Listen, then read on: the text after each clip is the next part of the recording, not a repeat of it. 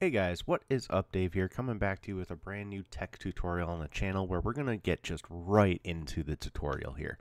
A lot of people have issues with losing data these days, and I figured it would be really cool to do a multi-part series going over some of the most popular tools to use for recovering data that you might have deleted off of your external hard drive, your flash drive, your SD card from your digital camera, or your DSLR, a whole bunch of things. This tool, R-Studio Technician, is perfect for that.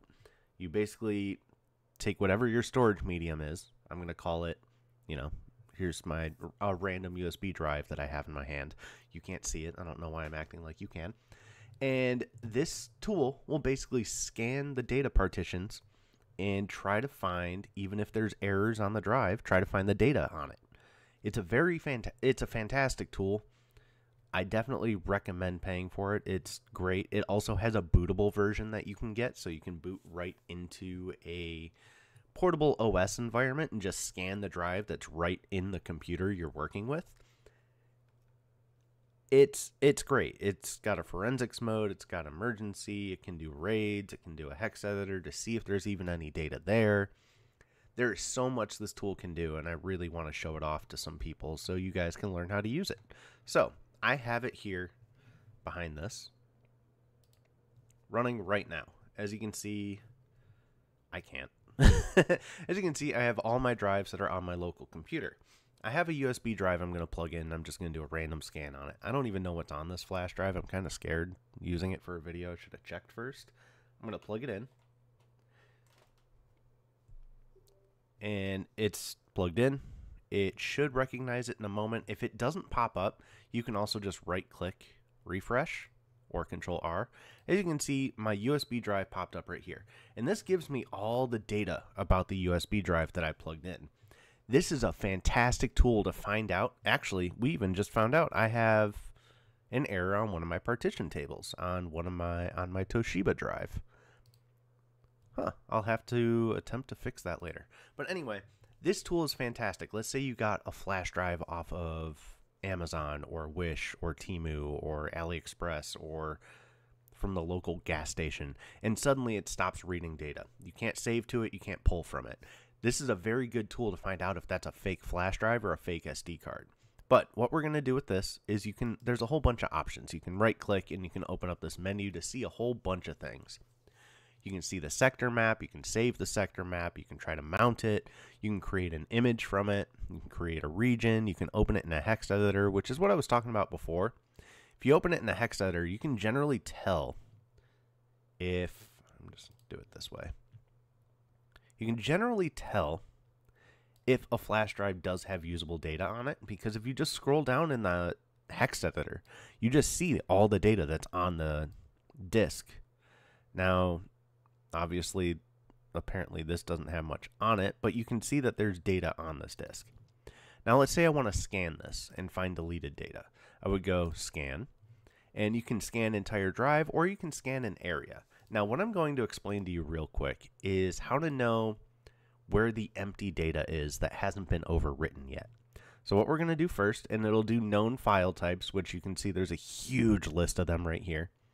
You go scan. Now, what you can do right here is you can kind of just let it go. As you can see, this thing is going pretty quickly. It's doing about 40 to 60 megabytes per second.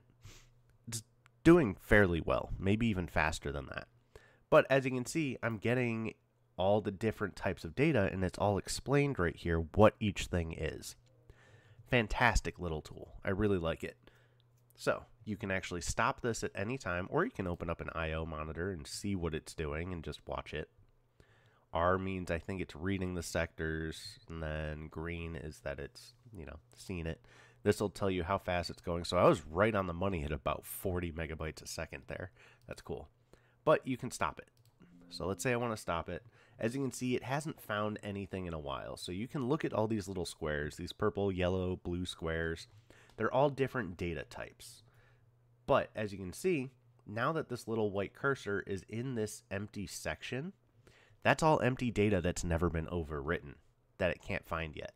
Generally, the way our flash drives and things like that work is yes, there's going to be some deleted data probably up in these little sections that it found current data. But what you want to do sometimes is scan also the um, unused data, and you can start it pretty much anywhere. So let's say let's start it at 10 gigabytes, and then we'll scan 5 gigabytes in size of the 10 gigabytes. So we can continue, and as you can see, it just randomly starts right here going through this 5 gigabyte chunk. This is all empty data that nothing has been written to yet. So if there's any deleted data, it would probably be here. But we're going to go back. I to turn my speakers off. We're going to go back. I'm going to just scan it from the beginning again. Because I want to show you guys basically what it found. So what I like to do when I'm doing scans for this to even know if a drive is um, you know, going to even show me any data is I'll scan about one gigabyte of it. That'll be my quick scan, my quick test to know if the drive is good, if it's corrupt, this, that, the other. So as you can see, we're at about 900 megabytes. We're about to be at one gigabyte. There you go. We're going to stop it. And we're going to go recognize. Now there's multiple sections. As you can see, there's the raw data, there's recognized, and then there's this recognized. We're going to go with this one because this is going to give me everything extra files found. So generally the way this works is with the X, it's going to be files that were probably deleted. But as you can see, if you expand this right here, it'll actually tell you good existing file, good existing file, below average signature beginning to be overwritten by another file. That means that this file was there, but if you open it in a hex editor, it's probably not a zip file anymore, or at least part of it somewhere is overwritten by a different file, so it's going to be somewhat corrupt. We can open it. You can even extract it with this tool, so like this is a 1 million byte file. You can go recover, you can do an output folder, put it anywhere, and then try to open it in 7-zip or whatever kind of document file it, or whatever kind of file it might be. 7z test, you know, it's a good existing file. There's other files too on here. There's fonts. There's a true type for some reason. Um, there's executables from the multiple times I've used this as a YUMI thing. Backup, boost, auto update. There's a whole bunch of stuff on here. But as you can see, it tells you what the files are, which is really good. But you can also see the current setup of files too. So if the USB or the SD card is corrupt, you can see it here. So I would love to get more into this. I wish I had a corrupt SD card. I don't anywhere. I'll have to ask around some friends.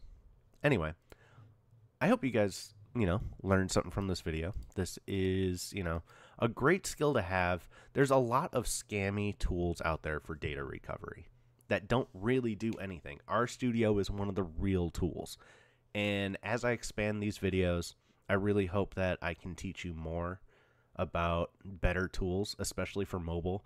Generally, when it comes to phones, because I know I'm going to be asked in the comments, generally, when it comes to phones, you just have to make the phone work and turn on.